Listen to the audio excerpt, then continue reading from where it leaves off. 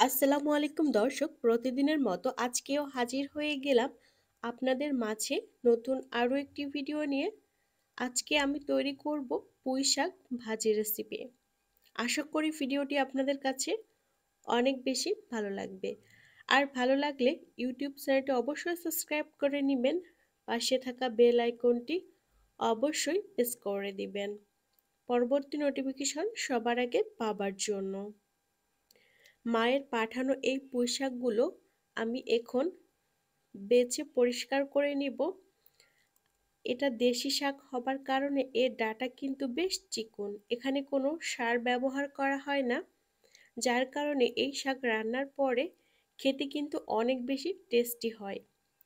চাষের যে শাকগুলো পাওয়া যায়, সেগুলো কিন্তু পাতাগুলো অনেক বড় হয় আর ডাটাগুলো কিন্তু বেশ মোটা হয়। আর সেটার টেস্ট এটার তুলনায় একটু কম। তো যাই হোক, এবার আমি পাতাগুলো নিচ্ছি আর ডাটার শক্ত অংশ ফেলে দিব আর কচি অংশটা নিয়ে নিব। এভাবে করে সবগুলো শাক আমি প্রথমে বেছে নিব, এরপর এটা ধুয়ে পরিষ্কার করে নিব। ফেসবুক পেজ থেকে যারা ভিডিওটি দেখছেন, অবশ্যই পেজে ফলো দিবেন লাইক কমেন্টস অ্যান্ড শেয়ার করে দিবেন। ভিডিও সম্পর্কে যদি কোনো মতামত থেকে থাকে, তাহলে কিন্তু অবশ্যই আপনারা কমেন্টসের মাধ্যমে জানাতে পারেন।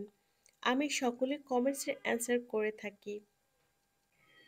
তো এ পর্যায়ে দেখুন, আমার শাকগুলো কিন্তু পরিষ্কার করা হয়ে যাচ্ছে।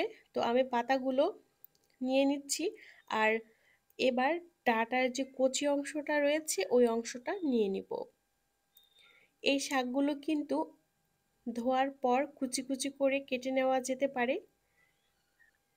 এই শাকগুলো কিন্তু বেশ কচি ছিল। যার কারণে এটা রান্নার পর টেস্ট অনেক বেশি ভালো হয়েছিল। পুঁই শাক দিয়ে কিন্তু অনেক ধরনের রেসিপি তৈরি করা যায়। তো চলুন এবার রান্না শুরু করে দিই। আমি এখানে গ্যাস অন করে দিয়েছি। এবার চুলায় ফ্রাই প্যান বসিয়ে দিয়েছি। প্যানে লেগে থাকা পানিগুলো কিন্তু প্রথমে শুকিয়ে নিতে হবে। এরপর এখানে পরিমাণ মতো সরিষার তেল অ্যাড করে দিয়েছি। দুই মিনিট পর এখানে দিয়ে দিয়েছি এক টেবিল চামচ গোটা জিরা। জিরা দেওয়ার পর এখানে এক মিনিট ফ্রাই করে নিয়েছি। সুন্দর একটা স্মেল বের হলে এখানে অ্যাড করে দিয়েছি রসুন কুচি, পেঁয়াজ কুচি কাঁচামরিচ কুচি। এ পর্যায়ে এটা তেলের সাথে ভালো করে ফ্রাই করে নিতে হবে। লাল লাল করে আমি ভেজে নিব। তো এবার এখানে অ্যাড করে দিতে হবে হলুদ পাউডার আর দিতে হবে স্বাদ মতো লবণ। এরপর এখানে অ্যাড করে দিলাম হরিণার চিংড়ি। এবার এই চিংড়িগুলো পেঁয়াজের সাথে মিক্সড করে ফ্রাই করে নিচ্ছে। এখানে কিন্তু আর কোনো মশলা অ্যাড করা লাগবে না। এই মশলাতেই শাকটা আমি ফ্রাই করে নিব। তো পেঁয়াজ, রসুন, চিংড়ি মাছ ফ্রাই হয়ে গিয়েছে। এবার আমি এখানে অ্যাড করে দিয়েছি পুঁই শাক। পুঁই শাকের পাতাটা কিন্তু আমি একটু ছোট সাইজ করে কেটে নিয়েছি, দেখতেই পাচ্ছেন। এটা ধোয়ার পর কেটে নিয়েছি। এভাবে ছোট করে দিলে দ্রুত এটা সেদ্ধ হয়ে যাবে। আর খাবার সময় খেতেও কিন্তু ভালো লাগবে। এটা চাইলে গোটা গোটা ও দেওয়া যেতে পারে। তো এ পর্যায়ে দেখুন শাক থেকে কিন্তু বেশ পানি বের হয়েছে। তো এ পর্যায়ে আমি এখানে ঢাকনা দিয়ে দিচ্ছি। চাইলে কিন্তু ঢাকনা অ্যাড নাও করে এটা ফ্রাই করা যায়। তো আমি যেহেতু দ্রুত রান্না করতে চাচ্ছিলাম, তার জন্য কিন্তু আমি ঢাকনা দিয়ে এটা সেদ্ধ করে নিয়েছি। যখন হাতে কম সময় থাকে তখন কিন্তু এই পদ্ধতি। ঢাকনা দিয়ে দিলে কিন্তু খুবই সহজে দ্রুত এটা সেদ্ধ হয়ে যায়। তো এ পর্যায়ে দেখুন, শাক ভাজি কিন্তু হয়ে গিয়েছে। তো এরপর এটা আমি সার্ভ করে নিচ্ছি। তো দেখিয়ে দিচ্ছি। এই তো, দেখুন আমি এটা সার্ভ করে নিয়েছি। ঢাকনা দেওয়ার পরও কিন্তু এটার কালার ঠিক ছিল। তো তৈরি হয়ে গেল পুঁই শাক দিয়ে হরিণা চিংড়ি। তো এ পর্যায়ে আমি লাউ শাক ভাজি করব। তার জন্য আমি এখানে প্যান বসিয়ে দিলাম। প্যানের পানি শুকিয়ে নিয়েছি। এরপর এখানে অ্যাড করে দিলাম সরিষার তেল। তেল অ্যাড করার পর দিয়ে দিলাম গোটা জিরা, হাফ টেবিল চামচ। এরপর দুই মিনিট এটা ফ্রাই করে নিয়েছি। দেখুন, তেল থেকে কিন্তু ধোয়া উঠতেছে। সুন্দর মতো এটা ফ্রাই হয়ে গিয়েছে আর সুন্দর একটা স্মেলও বের হয়েছে। তো এবার এখানে দিয়ে দিলাম হরিণার চিংড়ি। চিংড়িগুলো ফ্রাই করে নিচ্ছি। এরপর এখানে দিয়ে দিব পেঁয়াজ কুচি, রসুন কুচি, কাঁচামরিচ কুচি। এগুলোকে ফ্রাই করে নিতে হবে। লাল লাল করে ফ্রাই করে নিব। ভালো করে এটা ফ্রাই হয়ে গেলে এখানে অ্যাড করে দিব লাউ শাক। এই শাকটাও কিন্তু আমার আম্মা পাঠিয়েছে। এটাও দেশি শাক।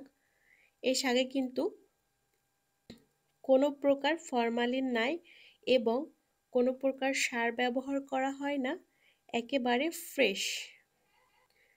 লাউ শাকগুলো কিন্তু বেশ কচি ছিল। তো যাই হোক, লাউ শাক দিয়ে কিন্তু অনেক ধরনের রেসিপি তৈরি করা যায়। তো আজকে আমি লাউ শাক ভাজি করব। এখানে দিয়ে দিয়েছি পরিমাণ মতো হলুদ পাউডার এবং স্বাদ মতো লবণ। লাউ শাকে কিন্তু একটা আলু ব্যবহার করব।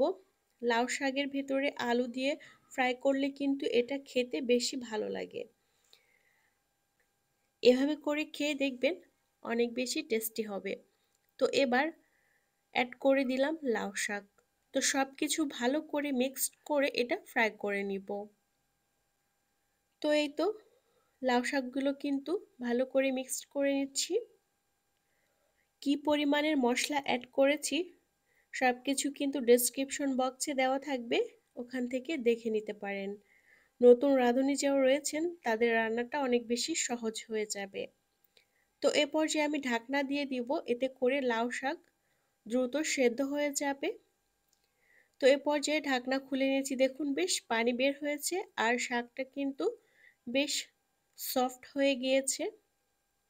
তো এ পর্যায়ে আবারও নেড়ে চেড়ে ঢাকনা দিয়ে আবার রান্না করে নিচ্ছি। এই ভিডিওতে আমি দুইটা রেসিপি শেয়ার করেছি, আশা করি দুইটাই আপনাদের কাছে অনেক বেশি ভালো লাগবে। তো দেখুন, ঢাকনা খুলে নিলাম। আমার শাক ভাজি কিন্তু প্রায় হয়ে এসেছে আর পাঁচ থেকে ছয় মিনিট এটা চাল করলে কিন্তু রেডি হয়ে যাবে। তো এই পর্যায়ে ঢাকনা দিয়ে দিলাম। এরপর দেখুন, আমার শাক কিন্তু হয়ে গিয়েছে সব কিছু সুন্দর মতো সেদ্ধ হয়ে গিয়েছে।